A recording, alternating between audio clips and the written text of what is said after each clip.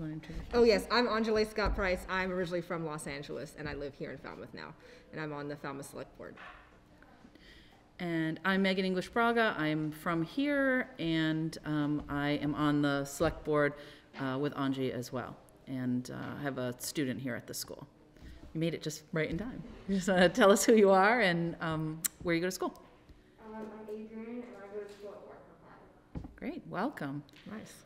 This is great. So, um, we are going to talk a little bit about public policy today. Um, both of us work on the select board, which is, um, you know, the body in our town that helps to set policy. And so I think, you know, we're coming at it from the perspective of how policy is set at the local level. But we're going to do some sort of brainstorming and thinking about how policy is made at, at various levels. So sort of local all the way up to, to national policy. Um, and so I guess, should we just start maybe talk Yeah. a little bit about what pub- public policy is? Yeah. So we work at the local level, as Megan said, um, which is really fun. We get to see a lot of what we do in action. Uh, but we want to talk a little bit about what public policy actually is. So, and also, we don't want to be talking at you the whole time. We want to make this more interactive and want you guys to brainstorm and, and think things with us. So I'd like to hear what people think public policy is. And don't worry, this isn't is like no a wrong- wrong thing, because the, the, it's an enormous category. It's a general sort of idea. So what, what do you think of when you hear that word public policy? You can just yell it out, you don't have to raise your hand. like a policy that we would all agree on as a community. Okay, Yep, great. okay. Yep. You know, the general rules that, um, a town or school puts in place to set like regulation. Mm-hmm. Standards? it's a good one. Yep, standards. Can anybody think of sort of a specific thing that you would call a policy? Maybe there's one at your school or, or in your community that you can think of?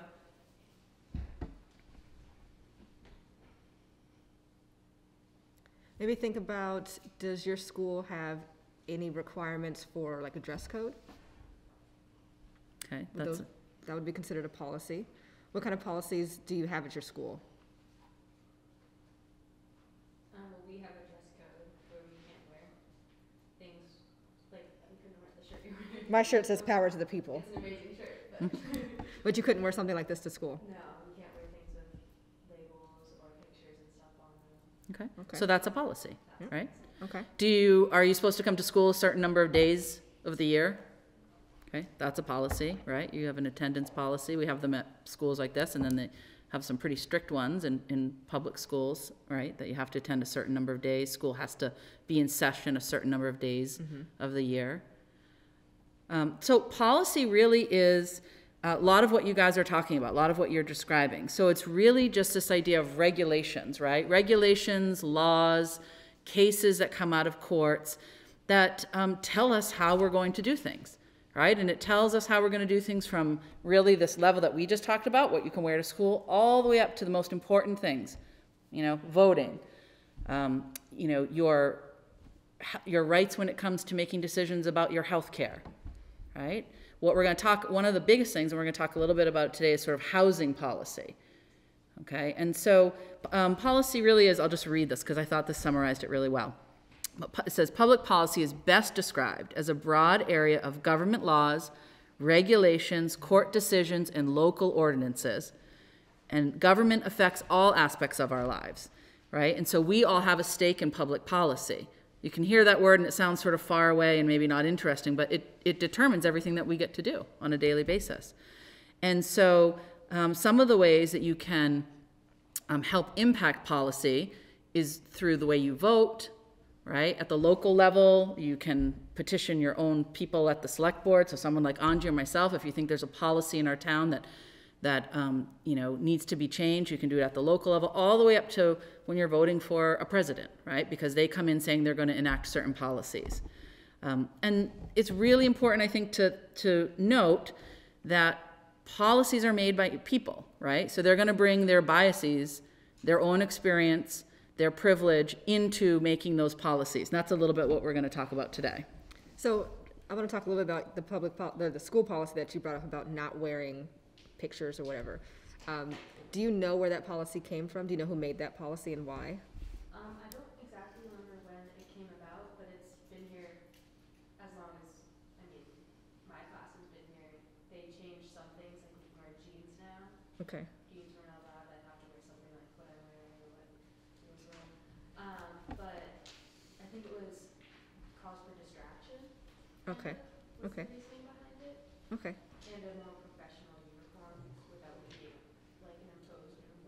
Okay. Mm-hmm. So without telling that you have to wear something specific, it's just telling you what you can't wear. Hopefully to, to make it feel like it's more professional. Okay, so does that kind of policy seem like an equitable policy? I'm getting, I'm getting some no's. Why not? Not everyone has the resources to go and buy things like business casual attire. Yep, that's, that's what I was thinking. Any other mm-hmm. ideas? Well, before, a couple of years ago, there was like explicit things about what men could wear and what women could wear, so it wasn't very equitable to people who don't identify either. Mm-hmm. And they recently changed that to make it more oh. gender fluid, but before, a couple of years ago, it was super, like, you either have to wear women's attire or men's attire. Mm. Wow, yeah, that's a good, that's a, that's a good one. Um, so the reason I bring that up is because a lot of policies on the outside seem like they're really basic policies, like this should be fine for everybody. But when you really dig deep into why some of these policies are put in place, a lot of times it's because people come in with their biases and don't, might not think that anybody else doesn't have money to be able to buy different pants or buy different shirts. And so equity is really important lens to look through when you're looking at making public policy. So uh, Megan is on the select board with me. Unfortunately, she's going to be leaving us, and I'm just very hopeful that the next person that comes in is able to look at the policies that we have in town with an equitable lens, the same way that Megan and I try to do when we're looking at policies for the town of Falmouth. And one other thing that, that Angie's point makes me think of is who makes the policy? So do we think that there were students involved, and I don't know, I don't know the answer to this, but in making, if we're just gonna focus on the dress code, do we know how much or if students were consulted when that dress code was first put in place? It wasn't at my school, and our school is very like, a, a lot of, um, a lot of dress code focuses on what females can wear, and not a lot of men can wear, and it's mostly imposed by like our superintendent and our principal, and we're actually working to change it as well. Great. So, I mean, this is, this is an example of one of the things you think about when you're looking at it through a lens of equity is not just what the policy is, but who set the policy, right? What did they bring to it? Um, and whose voices were heard when that policy was being crafted? And, you know, traditionally, it's a very limited group of voices, right? And so lots of life experiences, um, you know, different points of view are not being part of that, brought in as part of that conversation when we set policy. And again, we're talking about dress code, which you guys live with every day, so it probably does feel really important. In the, the grand scheme of things, maybe it's, you know, a little bit lower than when we talk about something like housing or voting. But you can see how every policy um, really confines us because it's a set of rules, right? So, and it's okay, rules are okay, but um, who sets those rules and how do they impact people? And that's what we're going to look at a little bit today through the lens of um, housing and housing equity. Um, should I do the little? Yeah, I think so. All right. So what we're going to do is we're going to show uh, about a 12-minute video clip, okay? And this is, um, it's going to show you a little bit about a program that was created in Chicago to try and address the issue of housing inequity, okay? So, so this idea that, um, you know, we don't come to the same place. We've, we've lived in this country in, in very segregated ways racially, right? And so, uh, and where there are large concentrations of poverty. You know, the way we addressed housing was to sort of put folks who were struggling economically um, all in one area, right? And, and it talks about what some of the problems with that were, and then this solution that was put in place, and we're going to talk about it afterwards. So, am I doing it through here? Yeah. Okay. Oh. Everything's gone to sleep. Oh, yeah, would you just, do you mind? Thank you. Thank you. Yep, perfect.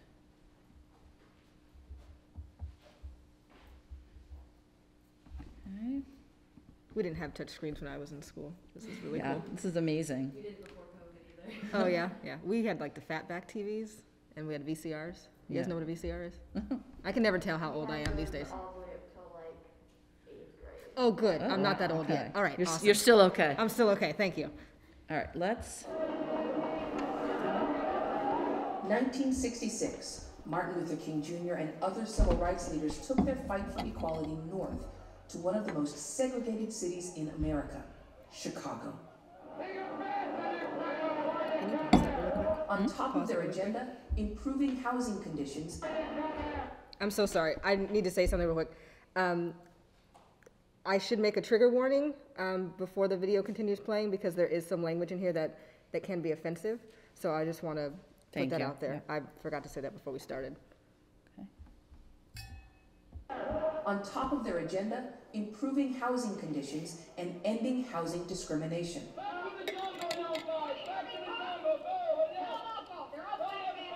I have never seen, even in Mississippi and Alabama, a mob as hostile and as hate-filled as I've seen in Chicago.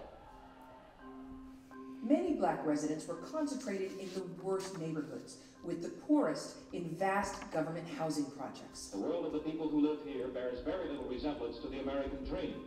Valencia Morris and her three daughters would eventually live in one of them. There was garbage, junk on the outside of the buildings. Even in kindergarten, first grade, my daughters would get beat up on the way home from school. They were becoming not violent, but on the defense. She said, listen, either you're gonna learn how to fight back or you're gonna keep getting beat up. I can't help you. My mom was starting to see how the environment was beginning to change us, and so she was desperately looking to leave.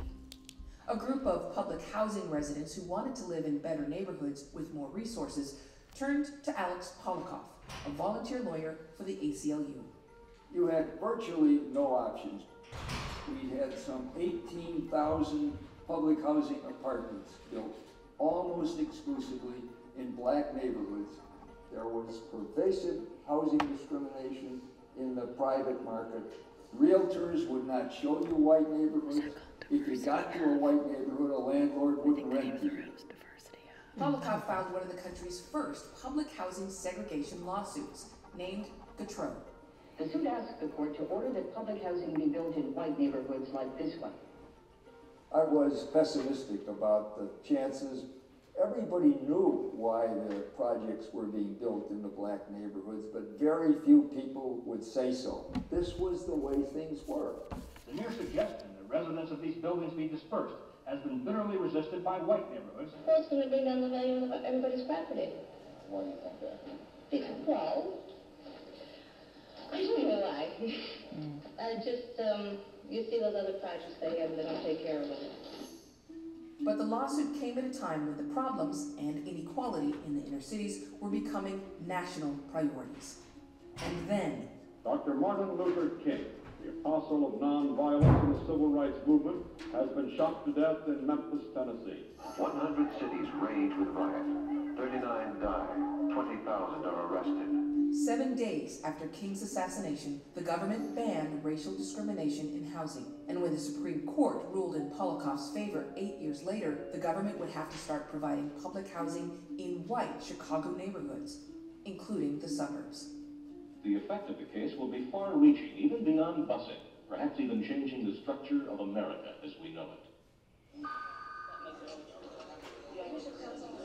One part of the solution was an experiment in integration that had never been tried before, giving vouchers to a few thousand families from the Chicago projects and helping them rent apartments in the suburbs. You had to use your voucher to move to a predominantly white middle-class community. And such communities have good schools, they have low crime, they're close to job opportunities. This was a hopeful moment because a new doorway had opened up in terms of how to deal with segregated neighborhoods. The Morrises were one of the first families to move. I immediately called and asked them to put my name on the list.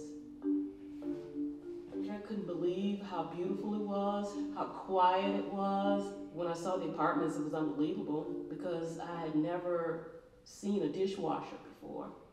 But life as one of the town's only black families wasn't always easy. I would go out in the morning to get in my car and there would be rotten eggs thrown on the windshield and all over the car. The girls would tell me that people would call them names, would call them nigger, baboon. My mom's advice was, you have to win. Period.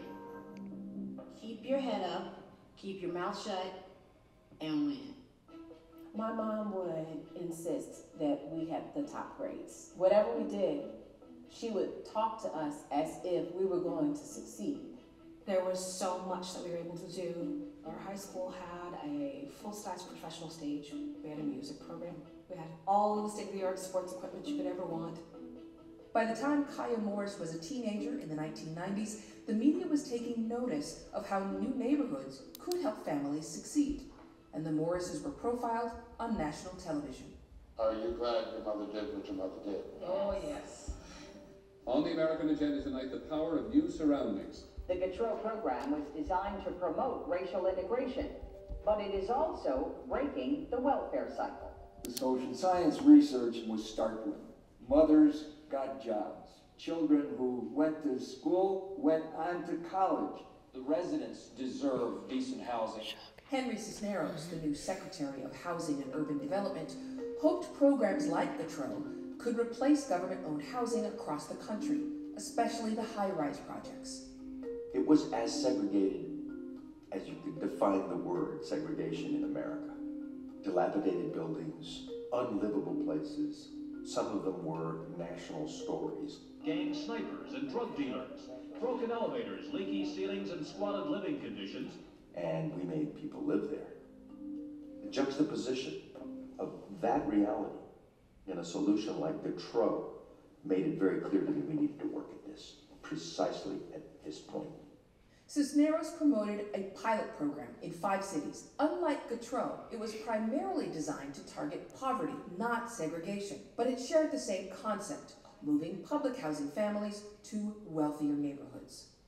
We're going to provide you help finding an apartment, getting your children placed in school. Soon, moving families from the projects to the suburbs created another public backlash. Twice this week, parts of East Baltimore County have gathered to try to stop MTO, Move to Opportunity. Let's put a stop to it, folks. The people who would be sent out would be those who needed serious counseling, would need to be taught to take bears and not to steal. And 10 years later, when Lawrence Katz studied the nearly 5,000 families in Moving to Opportunity who did move, the results were disappointing. We're seeing very little in terms of the economic outcomes for the parents and very little in terms of things like test scores um, for the kids. The early success of Chicago's Gautreaux program looked like a fluke, and both Gautreaux and Moving to Opportunity came to an end. No new families would be moved. The conventional wisdom became mobility doesn't work. Government was not willing to consider it as a policy. By then, the Morris family had already left the suburbs and moved to a middle class neighborhood in Chicago. I needed to just be around a diverse community. I wasn't necessarily accepted by all of the white friends that I had, and I was too white in some levels for the black kids that had moved into the community since then. She grew up in the suburbs, so as far as knowing African Americans, she didn't really know how we are. So I said, I need to get back into Chicago before she loses her identity. Since then, many of the high rises have come down, and vouchers have become the largest part of the country's public housing program. But the vouchers often don't come with enough money or assistance to help families live in better neighborhoods. And in many cities, racial and economic segregation remain a problem. All of the other forms of segregation that exist in our society begin with where do you live? Where do you stay? And the effects of that segregation may be harsher than ever. In some places, poverty got even more concentrated. People don't feel that they had full access to what most Americans and what people here would call uh, the American dream. In 2014, Lawrence Katz saw new research on the importance of neighborhoods and decided to find out what happened to the children from moving to opportunity. And now that the youngest children had grown up, he discovered something policymakers hadn't predicted. We're seeing them earning 30% more than a kid who didn't get the opportunity to move to a better neighborhood. We're seeing college going rates increase dramatically. We couldn't see that when the kids weren't old enough. It turned out the program wasn't a failure at all. Neighborhoods and childhood development are long investments, and one has to have some patience. Most things that are investments take a while to pay off. I am publisher and editor of the Brooklyn Reader. My middle sister Jamila is a professor in Central Illinois. And in 2014, her youngest sister, Kiah, became the second black woman to be elected to the Vermont legislature. I'm proud and honored to be the first person of color ever to come out of Bennington County. I'm the first black woman to be elected into the House in 25 years. If we were not given this opportunity, would I be here today?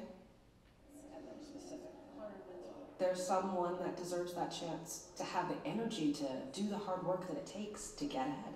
And you can't do that when you're under the weight and the oppression of poverty. You just cannot. There are a lot of things that I can feel proud about. And I know in the back of my mind that it has nothing to do with me necessarily. It had to do with my circumstances. When my mother gave me the license to start fighting, that was gonna probably be my life. I would have been someone completely different. It would have been a big waste of a person. But Kiah Morris says it'll take more than new neighborhoods to create change. In late 2018, she resigned from the Vermont legislature after more than a year of racial harassment by a reported white nationalist. For two years, we lived in my husband's childhood home feeling unsafe. She says not enough has been done to fight the problems that led to the Gautreaux housing program in the first place. There is no way that we can look at what's happening in our country right now and say that we've dealt with the issues of racism. We didn't do the work in the civil rights movement. That work did not get completed. We never dealt with the underlying racism that established segregation to begin with. Nobody picks where they're born or chooses where they're raised as a child. You play the cards that you're dealt with. I just think it's unfortunate that the cards in our hands are, um, after 30 years, still unequal. Today, it's the potential economic benefit of new neighborhoods that's getting attention. Lawrence Katz is working with cities trying new experiments in moving public housing families, using detailed data on income and incarceration rates to find the neighborhoods most likely to help children escape poverty. We're losing people who could be innovators, we're losing people who could be artists, and we could have a much more vibrant society if we had less concentration of poverty and social problems. Okay. So I noticed a lot of people taking notes. Anyone want to share some of the thoughts that they had while watching the video? One thing I noticed, especially in the beginning of the video, is that a lot of people seem to put um, property value over the value, the quality of life somebody had. Um, and I feel like that is still kind of continuing when people talk about this. They're like, oh, but what about, you know, the property value that's going to go down if we, you know, do these government houses, if we put, you know, um, people who are less, less fortunate, I guess, in these neighborhoods and help them. Um, so that's definitely still an ongoing problem today. Yeah. I definitely agree with what she's saying in the end, where not enough was done in the sixties and during the civil rights movement to address what like the root of the problem is. We sort of just, our government sort of just put a Band-Aid on it instead of really like addressing what the issue was. Yeah, the first part you mentioned about the, the housing and the, um, the property values is something that we're dealing with in Falmouth, is we don't have any affordable housing in Falmouth. And we have what we call NIMBYs, not in my backyard. Those are the people who are like, yeah, that's great, but just don't put it here because of whatever reason. And a lot of their reasoning is because they think it's gonna bring down the value of their properties, which is really unfortunate. But I think also at the root of that, which is part of what you're saying, is that is is the racist and classist, right? Like, why is it going to bring down your property values? That's not really going to happen. That's that's we know that that bears out that that's not accurate. We have affordable housing developments in our community that have not impacted um, clearly because our our median price range of a home in Falmouth right now is over seven hundred thousand dollars. That's the median, so it's like right in the middle.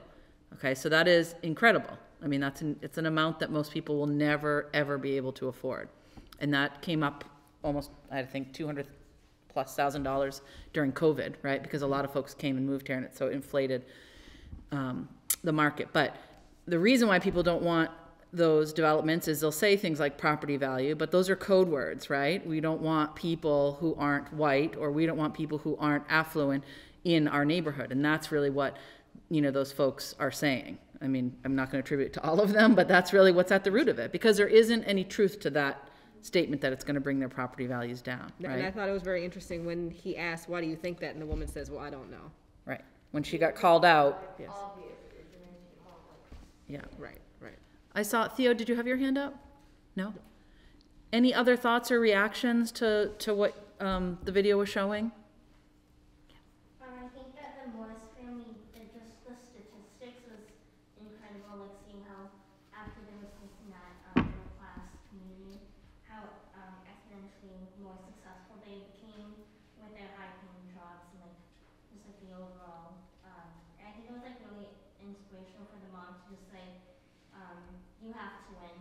Yep. Mm. Um, I think that was like, so, like such strength has to be, um, and taken and just like the bravery was Mhm. That Mhm. when we went through, I it was just really eye opening. Yeah. Yeah. I think one of the more eye-opening things too, it wasn't even a wealthy neighborhood, it wasn't high class, it was a middle class Mhm. society. Mhm. They were raised from poverty to a middle class setting, they were able to do so much for themselves. Right, Mhm. yeah. And I think Yep. it's, I don't wanna say inspirational, but like a lot of, we have a lot of affordable housing, we're, we're not a very wealthy town. Mhm. Um, and that my family, I come from a family of immi- immigrants, so my whole family has kind of put the same standards on everyone. Mhm. Um, so I can definitely attest to that. It's a lot of pressure to do well. Yeah. But it's so worth it because you see like how hard your parents have worked. Yeah. I want to point out something a little bit different about the video.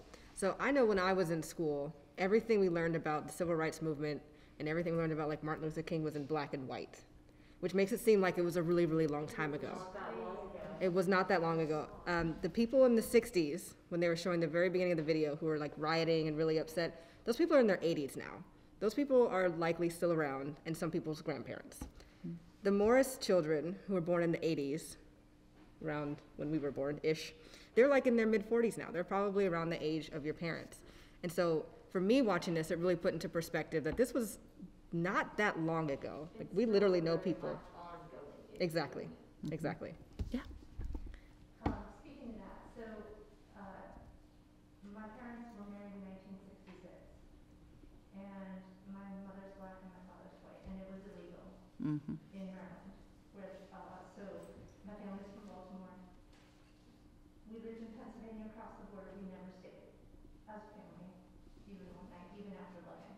Mm. Um, and so my mother was at the forefront of integration. She was the first black girl in her high school, and that experience pretty much broke her. She had lifelong mental health issues after that.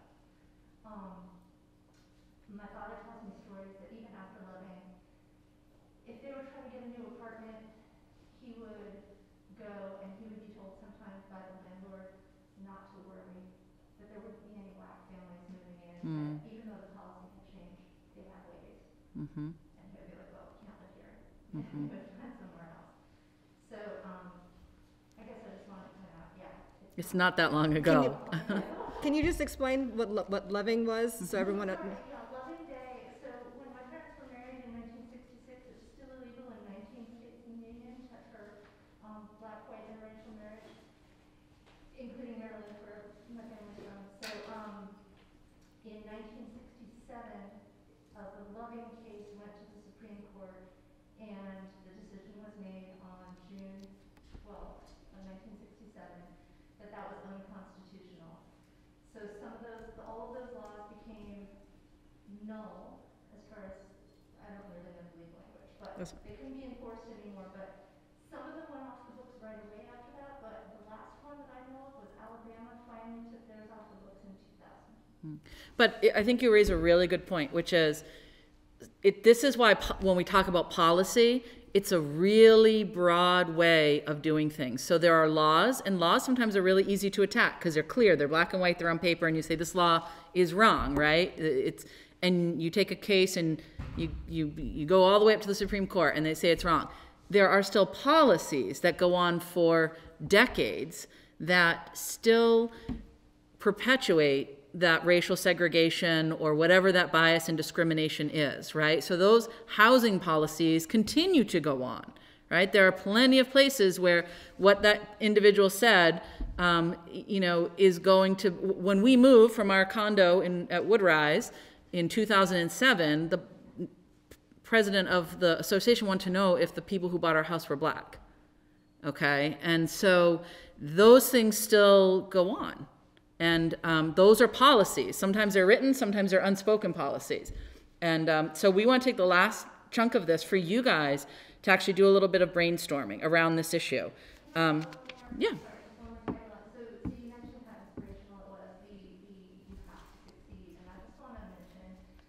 That was my mother's directive to me, and the weight, the pressure that that put on was ridiculous as far as, because it wasn't until much later when I realized how other people were living and how my friends look back on it now at our age of how we got through high school and college, and they're like, you were always so driven. It was never survival. And it was, um, yeah, that's, it was a matter of survival. It's, a- it's, an so, and so folks who are even benefit, who get the benefit of these programs are still not on the equal footing of the other individuals that they're attending school with, right? They're carrying, they're carrying something extra, and that's, that's true for, there's probably folks in this room who've, who have also experienced that, continue to experience that, and it's certainly true in the issue of housing and some of the ways that they've tried to address it. Um, so what we wanted to do was we kind of wanted to get your thoughts, you know, your points of view. So we'd love it if you can kind of break into groups of maybe five-ish? Yeah, Does four- four or five, Four or five? And what we're gonna do is we're just gonna give you this one little brief sheet, and it just talks a little bit more specifically about sort of housing policy. So the idea of redlining, I mean, there are all kinds of things that they used to do, right? They wouldn't give loans to, to black folks for houses. Um, they, they specifically had sort of geographical areas where they were excluded from. They built highways in between where white folks would live and where they were gonna sort of place, um, housing projects. So this just gives a really quick summary of some of that. And what we want to do is have you guys generate some thoughts about how can you affect some change in this area of public policy around housing. What are your thoughts about what you can do? Because this is still a live issue. This isn't long ago. It's still happening now. So if you want to break yourselves into groups, and we'll just hand some of these out. Does that work? Um, if you have paper, good. If you need paper, we have some here. And then we'll just kind of get back. We'll do it for maybe like seven or eight minutes and get back together and just brainstorm, share it out.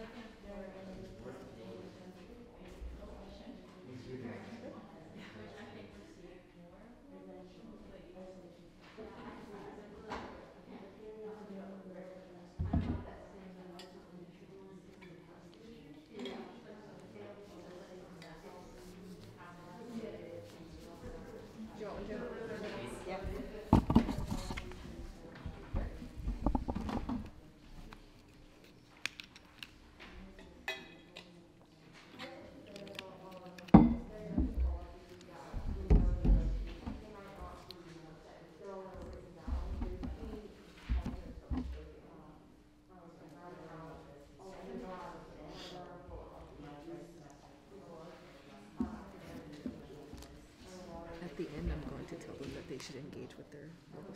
Yes, absolutely. Yeah, I think at the end, if we just maybe if we just sort of point out some of the ways that you can affect change here. Like Yeah. select board, we have an affordable housing committee, the meetings are open, we Yeah. have, not just affordable housing, but we have committees on lots of things, you know. And um, they're, right now, they're on, on Zoom still. so. Yeah. And even if not, they're open and you can go.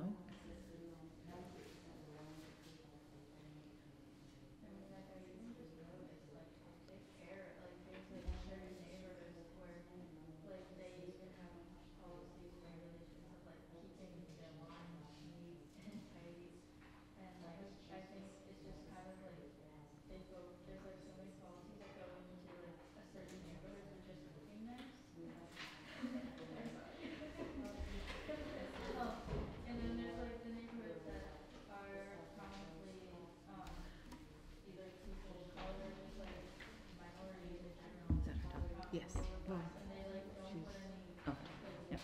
not that we're saying we should put policies. Hi, how are you? Hey, it's good to see you. Yeah. I think we just gave out our last one of those. But just drop into one of these groups if you want. Guys, be bold. I mean, there's, there's nothing that's, there's no wrong way to try and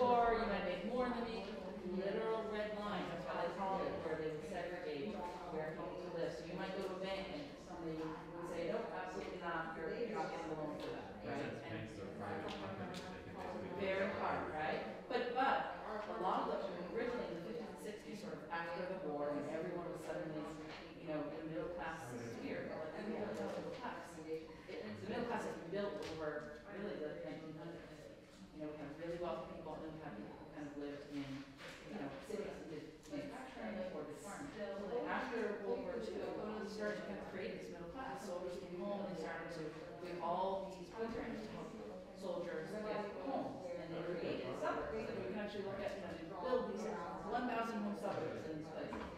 And those loans were given out by banks that were, but those loans were insured by the federal government. And The federal government perpetuated this idea of red money. They're not going to give loans to black families, even if they've been the veterans of war, right? So, so that, that's a policy that's continued for many, many decades, officially, and still continues sort of unofficially to this, to this day.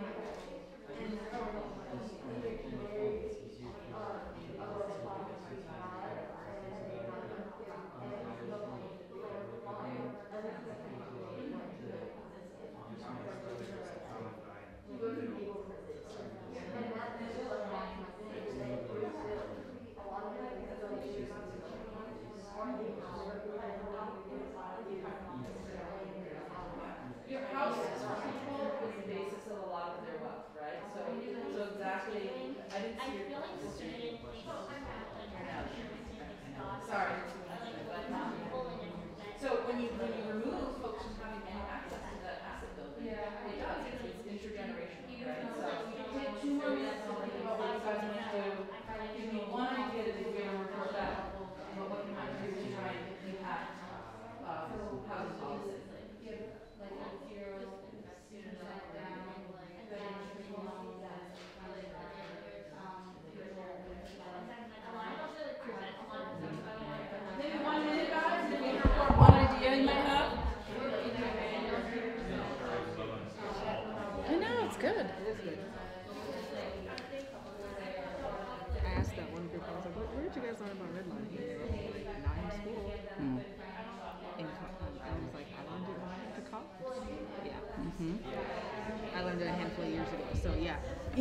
for sure I didn't learn it in school. I don't even know if I learned it in college. I doubt I did. Yeah, right? Oh, someone's going to talk to us. All right, so we have like one minute. So we're just going to go around. I want each group to just like blurt out something that you think we could do to change this, these policies. So why don't we start? we start over here. Really loud.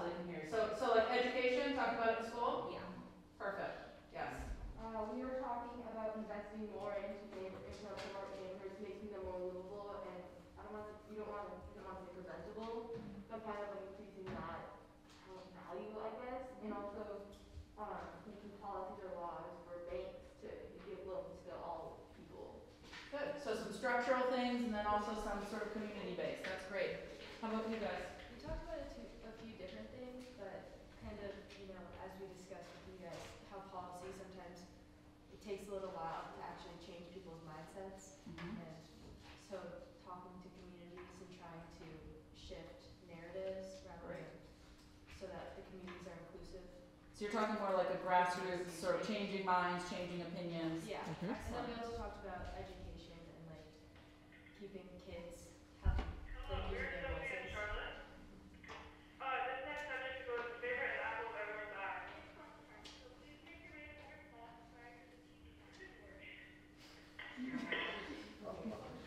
So, that's great. Ladies, did you want to share something? I just had, uh, that I would really like to see school funding decoupled from property taxes. Yes, that would be, make a huge difference. So, guys, this is wonderful. We could have done this for a lot longer. It's a huge subject matter. But the idea was to just get you guys thinking because at the end of the day, pu- public policy changes because of every person in this room, right? There isn't some magic thing that happens. It's all of us advocating and pushing for equity in our public policy, whether it's housing or education, um, healthcare, all of the things that we could look at. Um, so every person in this room has the ability to impact public policy, and you guys had some really great ideas. Um, we're gonna give you, just so that we don't leave, we leave on like a positive note, we'll give this, this article is from Habitat for Humanity, and talks about some actual policies that we can all advocate for on this particular subject matter. And I think, uh, Angie wanted to, So we, all, I also have a, a list of resources specific.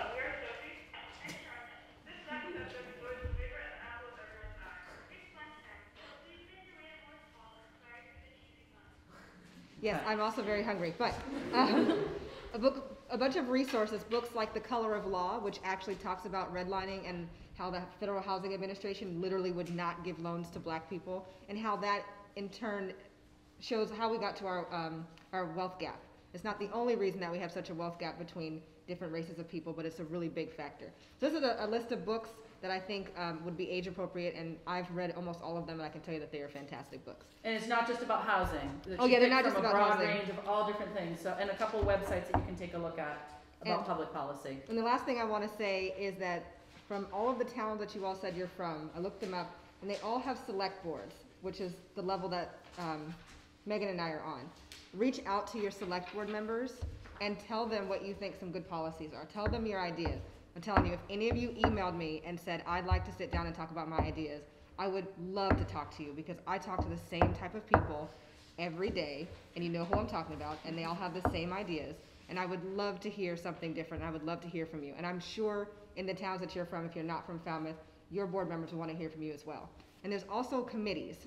So there's committees that each town has, like Affordable Housing Committee, Coastal Resiliency, uh, Committee Wood- on, um, for, uh, substance use, committees for disability, um, let's see, Advocacy. advocacy, I mean, really, almost every subject matter, you know, environment, environmentally directed, all of that, anything that you care about, almost every town, and particularly Falmouth, but almost every town's the same, has a committee, and anyone can be on that committee, And okay? right So- now, a lot of them are on Zoom, so you don't even have to come to them in person. And you don't have to be a member to participate. If you want to be a member, to be a voting member, you can do that.